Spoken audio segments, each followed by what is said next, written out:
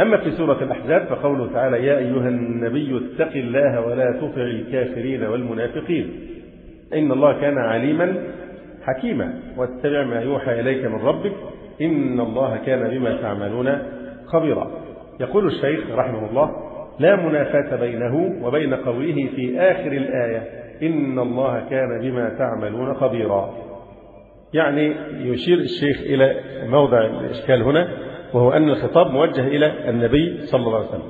ثم ختمت سياق الآيتين بقوله تعالى إن الله كان بما تعملون خبيرا. في حين أن المخاطب هو النبي وحده صلى الله عليه وسلم. فهنا قوله إن الله كان بما تعملون خبيرا بصيغة الجمع لدخول الأمة تحت الخطاب الخاص بالنبي صلى الله عليه وسلم لأنه قدوتهم كما سبق بيان ذلك مستوفا في سورة الروم. في أي موضع في سورة الروم. يعني يخاطب النبي صلى الله عليه وسلم ويدخل في خطابه الخاص أمته. فأقم وجهك للدين حنيفا. فطرة الله التي فطر الناس عليها لا تبديل خلق الله. إلى قوله تعالى إيه؟ منيبين إليه واتقوه. منيبين إليه. مع أن المخاطب هو النبي صلى الله عليه وسلم لكن دخل في خطابه الخاص الأمة كلها بدليل قوله بعد ذلك منيبين إليه واتقوه إلى آخر الآيات. قوله تعالى ما جعل الله لرجل من قلبين في جوفه. هذه الآية الكريمة تدل بفحوى خطابها يعني بمفهوم الخطاب أو مفهوم المخالفة أنه لم يجعل لامرأة من قلبين في جوفه. ما جعل الله لرجل من قلبين في جوفه. المنطوق لرجل لكن المفهوم يدخل فيه أيضا إيه؟ أيضا أن المرأة لم يجعل الله لها قلبين في جوفها في جوف واحد.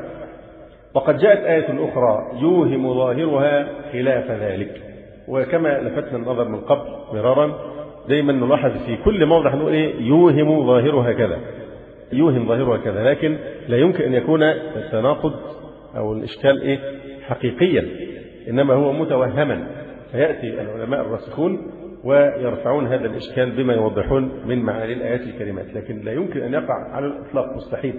أن يقع تناقض أو تعارض بين آيتين. مستحيل. لماذا؟ لقوله تعالى ولو كان من عند غير الله لوجدوا فيه اختلافا كثيرا. أما الآية الأخرى التي يوهم ظاهرها خلاف ذلك فهي قوله تعالى في حفصة وعائشة رضي الله عنهما إن تتوبا إلى الله فقد صغت قلوبكما. فإذا نلاحظ هنا أنهما امرأتان مثنى لكن قال إيه؟ قلوبكما. إن تتوبا إلى الله فقد صغت قلوبكما بالجمع. فهل المرأتان فيهما قلبان أم فيهما قلوب؟ في جوفهما قلبان. فهذا هو موضع الإشكال. إن ما جعل الله لرجل وبمفهوم لامرأة من قلبين في جوفه. والآية بتقول إن تتوبا إلى الله فقد صغت قلوبكما.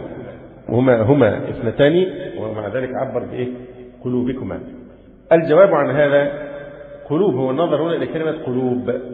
الظاهر أن يكون إيه؟ قلباكما. قلبان. الجواب من وجهين أحدهما أن المثنى.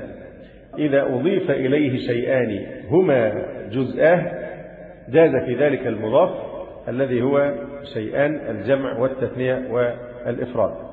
وأفصحها الجمع فالإفراد فالتثنية على الأصح سواء كانت الإضافة لفظا أو معنى مثال شويت رؤوس الكبشين. يجوز أن تقول شويت رؤوس الكبشين. ويجوز أيضا أن تقول شويت رأس الكبشين. رأس واحد. أو تقول شويت رأسي الكبشين. يبقى يجوز الجمع ويجوز الإفراد ويجوز الإيه؟ التثنية. فالمعنى قطعت الكبشين رؤوسا وقطعت منهما الرؤوس. فإن فرق المثنى فالمختار الإفراد. يعني لو إحنا قلنا هنا الكبشين لكن لو كان المثنى مفرقا معطوفا واحد على الآخر ففي هذه الحالة الأفضل الإفراد. لعن الذين كفروا من بني إسرائيل على لسان داود وعيسى بن مريم ولم يكن على لساني وإنما إيه؟ على لسان. لماذا؟ لأن المثنى هنا فرق. فالمختار الإفراد على لسان داود وعيسى بن مريم. وإن كان الاثنان المضافان منفصلين عن المثنى المضاف إليه يعني إذا كان غير جزئيه. فالقياس الجمع وفاقا للفراء. وفي الحديث قال الرسول عليه الصلاة والسلام لما قابل أبا بكر وعمر في الليل قال ما أخرجكما من بيوتكما. الساعة ما أخرجكما من بيوتكما. فجمع بيوت. وقال أيضا مخاطبا فاطمة وعليا رضي الله عنهما إذا أويتما إلى مضاجعكما. إذا أويتما إلى مضاجعكما. وفي الحديث الآخر هذه فلانة وفلانة يسألانك عن إنفاقهما على أزواجهما. وفي الحديث الآخر وفيه ألهما فيه أجر ولقي عليا وحمزة فضرباه بأسيافهما. نفس المثال. واعلم أن الضمائر الراجعة إلى هذا المضاف يجوز فيها الجمع نظرا إلى اللفظ والتثنية نظرا إلى المعنى. فمن الأول قول الشاعر خليلي لا تهلك نفوسكما أسى فإن لها فيما دهيت به أسى. خليلي لا تهلك نفوسكما. ولم يقل إيه؟ نفسكما خليلي لا تهلك نفوسكما أسى فإن لها فيما دهيت به أسى. من الثاني اللي هو النظر إلى المعنى قول الشاعر قلوبكما يغشاهما إلا من عادة إذا منكما الأبطال يغشاهم الذعر. إذا هذا هو الجواب الأول أن المثنى إذا أضيف إليه شيئان هما جزءاه جاز في ذلك المضاف. الجمع والتثنية والإفراد. الجواب الثاني ما ذهب إليه الإمام مالك بن أنس رحمه الله تعالى من أن أقل الجمع اثنان. أشهر شيء يستدل به من القرآن الكريم أو يستدل به من قال إن أقل الجمع اثنان. إيه الموضع في القرآن الكريم؟ حد ما يكونش معاه كتاب. أيوة. أي موضع؟ فإن كان له إخوة هي ظاهرها الجمع لكن يدخل فيها الإيه؟ في حكمها الأخوان. فهذا دليل من أدلة من قال إن أقل الجمع اثنان. يعني إذا المثنى هو يعتبر جمع بل هو أقل الجمع. زي اللغة الإنجليزية المثنى عمل معاملة الإيه؟ الجمع. مش زي العرب المثنى له ضمائر خاصة به أو ضمائر خاصة به قوله تعالى النبي أولى بالمؤمنين من أنفسهم وأزواجه أمهاتهم. هذه الآية الكريمة تدل بدلالة الالتزام على أنه صلى الله عليه وسلم أب لهم. لأن أمومة أزواجه لهم تستلزم أبوته صلى الله عليه وسلم لهم. واضح؟ وأزواج أمهاتهم فتستلزم أن الرسول عليه السلام هو أبو إيه؟ المؤمنين. هذا المدلول عليه بدلالة الالتزام. صرح به في قراءة شاذة وهي قراءة أبي بن كعب لأنه يقرأها النبي أولى بالمؤمنين من أنفسهم وأزواجه أمهاتهم وهو أب لهم. وهو أي النبي صلى الله عليه وسلم أب لهم. وهذه القراءة مروية أيضا عن ابن عباس رضي الله عنهما. للإمام ابن القيم كلام رائع جدا في أبوة النبي صلى الله عليه وسلم للمؤمنين الأبوة الروحية أو الأبوة الدينية. من يعرف في أي كتاب؟ في كتاب طريق الهجرتين ومفتاح السعادتين. تكلم كلاما رائعا يستحق أن تراجعوه. جاءت آية أخرى. تصرح بخلاف هذا المدلول عليه بدلالة الالتزام والقراءة الشاذة. وهي قوله تعالى ما كان محمد أبا أحد من رجالكم فإذا هنا توهم التعارض يعني لازم يكون في دقة في الكلام. توهم التعارض هنا بين إيه وإيه؟ أنا أريد دقة في الكلام. التعارض المتوهم هو بين ماذا وماذا؟ أحسن. يبقى هو بين مفهوم قوله تعالى وأزواجه أمهاتهم المفهوم اللي هو إيه؟ اللي هي دلالة من دلالة الالتزام يعني. دلالة الالتزام لأنه يلزم من كون أزواجه أمهاتهم يلزم منها أنه أبوهم ها أنه أب لهم. فتوهم التعارض بين دلالة الالتزام في هذه الآية وبين قوله تبارك وتعالى ما كان محمد أبا أحد من رجالكم. الجواب ظاهر وهو أن الأبوة المثبتة دينية والأبوة المنفية صينية. فالأبوة المثبتة هي الأبوة الإيه؟ الأبوة الدينية. أنه أبوهم بمعنى إيه؟ كما جاء في الحديث إنما أنا لكم مثل الإيه؟ الوالد. إنما أنا لكم مثل الوالد لما كان يعلمهم آداب التخلي أو آداب الاستنجاء. إذا هذه الأبوة أبوة إيه؟ دينية. واضح؟ أما الأبوة المنفية ما كان محمد أبا أحد من رجالكم فهذه الأبوة المنفية هي الأبوة الإيه؟ الطينية. يعني بمعنى أبوة التناسل يعني والنسب. بدليل أن السياق في إيه؟ في نفي تبني الرسول عليه الصلاة والسلام لزيد ابن إيه؟ ابن حارثة فيقول ما كان محمد أبا أحد من رجالكم يعني من ناحية الأبوة الطينية أبوة النسب لكن هو أبوهم من حيث إيه؟ الأبوة الدينية في هنا إشكال ثاني بقى صورة أخرى إن بعض الناس هتقول طيب قوله تعالى وأزواجه أمهاتهم إذا أزواج الرسول عليه الصلاة والسلام من حيث الظاهر أمهات لنا مع أن أزواج الرسول عليه الصلاة والسلام أمهات المؤمنين لكن مع ذلك جاءت الآية الأخرى وإذا سألتموهن متاعا فاسألوهن من وراء حجاب هل الابن يسأل أمه من وراء حجاب أو يتعامل معها من وراء حجاب كامل. طبعا هذا لا يكون. فإذا هنا إشكال أيضا. قد يقال كيف يلزم الإنسان أن يسأل أمه من وراء حجاب كيف هي أمه وكيف يسألها من وراء حجاب الجواب هو أن الأمومة هنا ليست أمومة إيه؟ طينية لكنها أمومة دينية.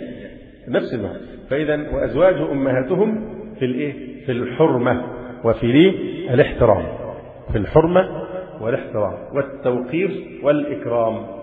وليس في الخلوة بهن ولا في حرمة بناتهن ونحو ذلك والعلم عند الله تعالى. إذا أمومة زوجات النبي عليه الصلاة والسلام هي أمومة إيه؟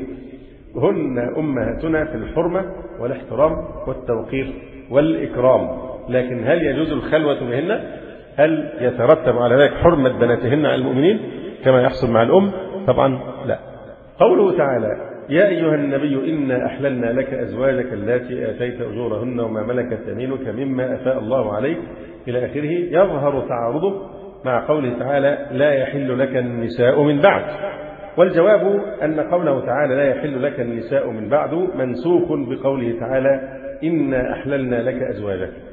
ترى أين الناسخ وأين المنسوخ؟ أحسنت.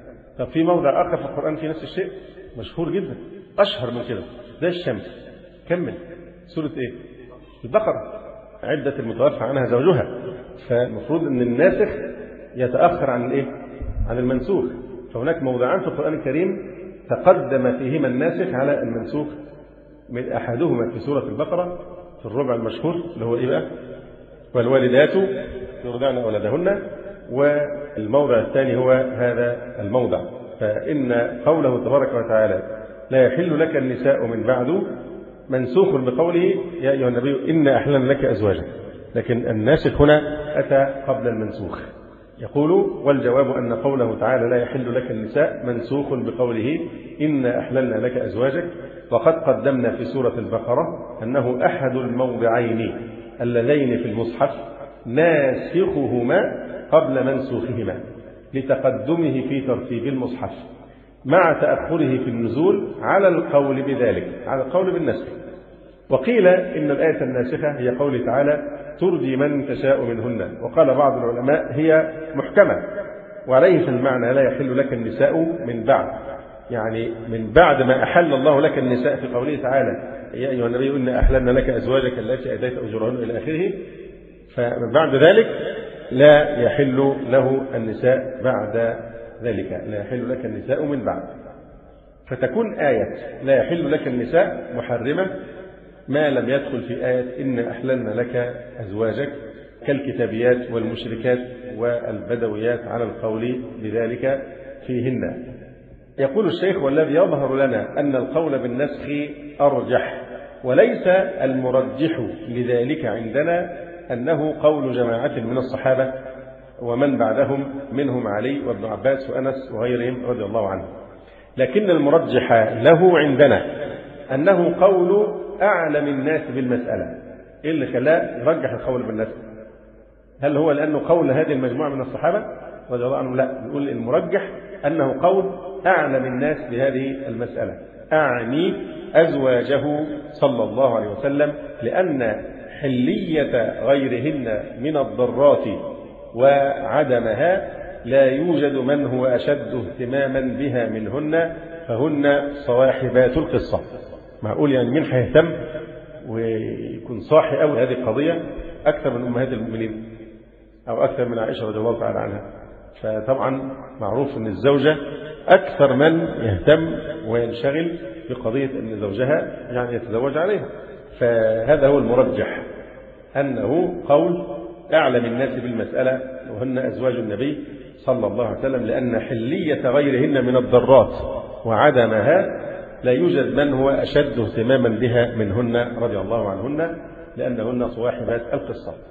وقد تقرر في علم الأصول أن صاحب القصة يقدم على غيره. صاحب القصة يقدم على غيره. طبعا يقدم في حالة الإيه؟ التعارض. حالة التعارض يقدم قول صاحب القصة على قول غيره. ولذلك قدم العلماء رواية ميمونة وأبي رافع أنه صلى الله عليه وسلم تزوجها وهو حلال على رواية ابن عباس المتفق عليها أنه تزوجها محرما. يعني حديث متفق عليه لابن عباس أن الرسول عليه الصلاة والسلام تزوج ميمونة وهو إيه؟ محرم. ومعلوم أن حالة الإحرام يمتنع فيها الإيه؟ عقد الزواج أو النكاح.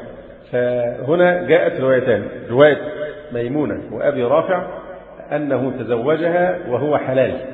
كان في حالة الحل ما كانش محرم. في رواية ابن عباس متفق عليها أنه تزوجها وهو إيه؟ محرم. فالعلماء هنا في هذه الحالة قدموا رواية ميمونة وأبي رافع. لماذا؟ لأن ميمونة صاحبة القصة. وأبا رافع سفير فيها. كان هو السفير اللي تولى توصيل هذا الأمر. فصاحبة القصة والسفير الواسطة في هذه القصة هما اللذان أثبتا أنه تزوجها وهو إيه؟ وهو حلال ولم يكن محرما. فهنا تقدم رواية صاحبة القصة. فإذا علمت ذلك فاعلم أن ممن قال بالنسخ أم المؤمنين عائشة رضي الله تعالى عنها قالت رضي الله عنها ما مات صلى الله عليه وسلم حتى أحل الله له النساء. ما مات حتى أحل الله له النساء. هي ما معناها إيه؟ إن الحل باقي وأم المؤمنين سلمة أم سلمة رضي الله عنها قالت لم يمت رسول الله صلى الله عليه وسلم حتى أحل الله له أن يتزوج من النساء ما شاء إلا ذات محرم. ويشهد لذلك ما رواه جماعة عن عبد الله بن شداد رضي الله عنه أن النبي صلى الله عليه وسلم تزوج أم حبيبة وجويرية رضي الله عنهما بعد نزول قوله تعالى لا يحل لك النساء من بعده